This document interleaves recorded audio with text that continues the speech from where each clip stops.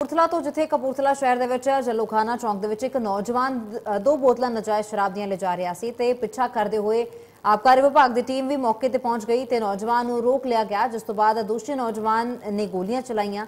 ਘਟਨਾ ਦੀ ਸੂਚਨਾ ਮਿਲਣ ਤੋਂ ਬਾਅਦ ਥਾਣਾ ਸਿਟੀ ਦੀ ਪੁਲਿਸ ਮੌਕੇ ਤੇ ਪਹੁੰਚੀ ਤੇ ਇਸ ਨੌਜਵਾਨ ਨੂੰ ਹਿਰਾਸਤ ਦੇ ਵਿੱਚ ਲਿਆ ਗਿਆ ਤੇ ਦੱਸਦੀ ਕਿ ਸਿਟੀ ਥਾਣਾ ਇੰਚਾਰਜ ਅਮਨਦੀਪ ਨਾਹਰ ਨੇ ਇਸ ਦੀ ਪੁਸ਼ਟੀ ਕਰਦਿਆਂ ਦੱਸਿਆ ਕਿ ਘਟਨਾ ਵਾਲੀ ਥਾਂ ਤੋਂ ਦੋ ਖਾਲੀ ਖੋਲ ਬਰਾਮਦ ਹੋਏ ਨੇ ਤੇ ਮਿਲੀ ਜਾਣਕਾਰੀ ਮੁਤਾਬਕ 4 ਰਾਉਂਡ ਫਾਇਰਿੰਗ ਵੀ ਕੀਤੀ ਗਈ ਹੈ। ਫਿਲਹਾਲ ਇਸ ਘਟਨਾ ਦੇ ਵਿੱਚ ਕੋਈ ਵੀ ਜ਼ਖਮੀ ਨਹੀਂ ਹੋਇਆ। ਇਹ ਸਾਨੂੰ ਇੱਕ ਫੋਨ ਕਾਲ ਆਈ ਸੀਗੀ ਥੋੜੀ ਦੇਰ ਪਹਿਲਾਂ ਹੀ ਕੰਟਰੋਲ ਤੋਂ ਕਿ ਜਲੌਖਾਨਾ ਦੇ ਵਿੱਚ ਗੋਲੀ ਚੱਲਣ ਦੀ ਘਟਨਾ ਹੋਈ ਆ।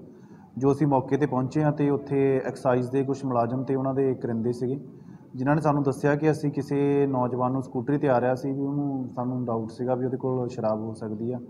ਇਹ ਰੋਕ ਕੇ ਉਹਨੂੰ ਚੈੱਕ ਕਰਨ ਲੱਗੇ ਸੀਗੇ ਤੇ ਉਹਨੇ ਅੱਗੇ ਫਾਇਰਿੰਗ ਕਰ ਦਿੱਤੀ। ਐਕਸਾਈਜ਼ ਦੇ ਦੋ ਮੁਲਾਜ਼ਮ ਸੀਗੇ ਤੇ ਉਹਨਾਂ ਦੇ ਅਸੀਂ ਹੁਣ ਸਟੇਟਮੈਂਟ ਵਗੈਰਾ ਲੈ ਰਹੇ ਹਾਂ ਤੇ ਮੌਕੇ ਤੋਂ ਸਾਨੂੰ ਦੋ ਖਾਲੀ ਕੇਸ ਜਿਹੜੇ ਆ ਉਹ ਬਰਾਮਦ ਹੋਏ ਆ ਤੇ ਜਿਹੜਾ ਲੜਕਾ ਸੀਗਾ ਜਿਹਨੇ ਗੋਲੀ ਚਲਾਈ ਆ, ਚਾਹਤ ਸੂਦ ਉਰਫ ਗੋਪੀ ਸਨ of ਕ੍ਰਿਸ਼ਨ ਸੂਦ, ਲਾਹੌਰੀ ਗੇਟ ਦਾ ਰਹਿਣ ਵਾਲਾ, ਜਿਹਨੂੰ ਅਸੀਂ ਉੱਥੋਂ ਮੌਕੇ ਤੋਂ ਹੀ ਜਿਹੜਾ ਪੁਲਿਸ ਪਾਰਟੀ ਨੂੰ ਦੇਖ ਕੇ ਕਿਤੇ ਪਹਿਲਾਂ ਛੁਪ ਕੇ ਬੈਠਾ ਸੀਗਾ, ਪੁਲਿਸ ਪਾਰਟੀ ਨੂੰ ਦੇਖ ਕੇ ਭੱਜਣ ਲੱਗਿਆ ਸੀਗਾ, ਜਿਹਨੂੰ ਅਸੀਂ ਮੌਕੇ ਤੋਂ ਹੀ ਕਾਬੂ ਕਰ ਲਿਆ ਹੈ। ਤੇ ਇਸ ਦੇ ਪਾਸੋਂ ਸਾਨੂੰ ਇੱਕ ਜ ਪਿਸਟਲ ਬਰਾਮਦ ਹੋਇਆ ਹੈ .32 ਬੋਰ ਤੇ ਪੰਜ ਉਹਦੇ ਵਿੱਚ ਜਿੰਦਾ ਰੌਂਦ ਸੀ। ਸਰ ਕਿੰਨੀ ਕਿ ਜਿਹੜੀ ਸ਼ਰਾਬ ਜਿਹੜੀ ਰਿਕਵਰੀ ਹੋਈ ਰਿਕਵਰੀ ਨੇ ਉੱਥੇ ਮੌਕੇ ਤੋਂ ਦੋ ਬੋਤਲਾਂ ਸਾਨੂੰ ਟੁੱਟੀਆਂ ਹੋਈਆਂ ਜਿਹੜੀਆਂ ਤਾਜ਼ੀਆਂ ਹੀ ਮਿਲੀਆਂ ਆ।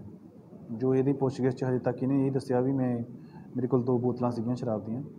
ਜੀ ਅਸੀਂ ਇਸ ਗੱਲ ਨੂੰ ਪੂਰਾ ਵੈਰੀਫਾਈ ਕਰਾਂਗੇ ਅਗਰ ਜੇ ਕੋਈ ਇਦਾਂ ਦੀ ਗੱਲ ਸਾਹਮਣੇ ਆਉਂਦੀ ਆ ਤੇ ਇਹਨਾਂ ਦੇ ਖਿਲਾਫ ਜਿਹੜੀ ਅਸੀਂ ਐਕਸ਼ਨ ਲਵਾਂਗੇ। ਉਹਦੀ ਪੁੱਛਗਿੱਛ ਇਹ ਜਾਰੀ ਆ, ਜੋ ਵੀ ਗੱਲ ਸਾਹਮਣੇ ਆਊਗੀ, ਉਹ ਫਿਰ ਅਸੀਂ ਅੱਗੇ ਦੀ ਅੱਗੇ ਤੁਹਾਨੂੰ ਇੰਟੀਮੇਟ ਕਰ ਦਵਾਂਗੇ। ਫਿਲਹਾਲ ਅਸੀਂ ਐਕਸਾਈਜ਼ ਦੇ ਜਿਹੜੇ ਮੁਲਾਜ਼ਮ ਆ, ਉਹਨਾਂ ਦੇ ਬਿਆਨ ਤੇ ਮੁਕੱਦਮਾ ਦਰਜ ਕਰ ਰਹੇ ਹਾਂ।